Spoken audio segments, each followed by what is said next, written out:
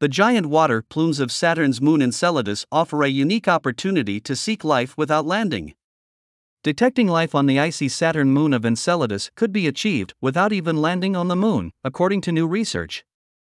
But it wouldn't be easy. A team of researchers has found that it would require more than 100 flybys through a geyser plume from Enceladus with an orbiting spacecraft to capture signs of a cell, a crucial indicator to confirm the presence of life. This finding could help in designing future space missions to Saturn and Enceladus and to optimize scientific returns, especially if life is not detected.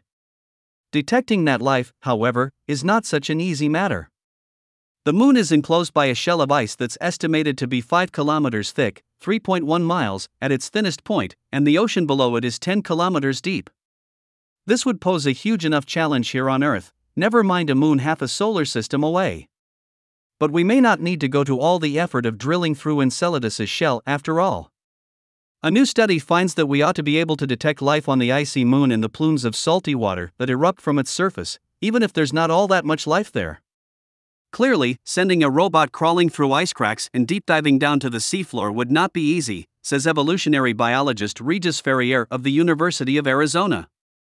By simulating the data that a more prepared and advanced orbiting spacecraft would gather from just the plumes alone, our team has now shown that this approach would be enough to confidently determine whether or not there is life within Enceladus Ocean without actually having to probe the depths of the moon.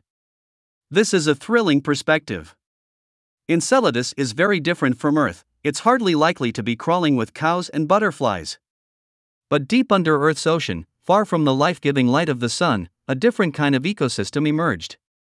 Clustered around vents in the ocean floor that spew forth heat and chemicals, life relies not on photosynthesis but on harnessing the energy of chemical reactions.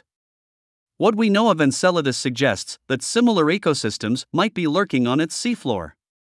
It completes an orbit of Saturn every 32.9 hours, traveling on an elliptical path that flexes the moon's interior, generating enough heat to keep the water closest to the core liquid. This isn't just theory, at the South Pole, where the ice shell is thinnest, giant plumes of water hundreds of kilometers high have been seen erupting out from below the ice, spewing forth water that scientists think helps contribute to the ice in Saturn's rings. When Saturn probe Cassini flew through these plumes over a decade ago, it detected several curious molecules, including high concentrations of a collection associated with Earth's hydrothermal vents, methane, and lesser amounts of dihydrogen and carbon dioxide. These can be linked to methane producing archaea here on Earth. On our planet, hydrothermal vents teem with life, big and small, in spite of darkness and insane pressure, Ferrier said. The simplest living creatures there are microbes called methanogens that power themselves even in the absence of sunlight. Methanogens metabolize dihydrogen and carbon dioxide, releasing methane as a byproduct. Ferrier and his colleagues modeled the methanogen biomass we might expect to find on Enceladus if the biomass existed around hydrothermal vents like those found on Earth. They then modeled the likelihood that cells and other biological molecules would be ejected through the vents and how much of these materials we would be likely to find. We were surprised to find that the hypothetical abundance of cells would only amount to the biomass of one single whale in Enceladus global ocean, says evolutionary biologist Antonin Affolter, now of the University of Arizona, but who was at Paris Sciences et Lettres University in France at the time of the research. Enceladus biosphere may be very sparse. And yet, our models indicate that it would be productive enough to feed the plumes with just enough organic molecules or cells to be picked up by instruments on board a future spacecraft. Equipped with the expected abundances of these compounds, an orbiting spacecraft might be able to detect them if it could make multiple plume flythroughs to collect sufficient material. Even then, there might not be enough biological material, and the chance that a cell might survive the trip through the ice and being spewed out into space is probably pretty slim.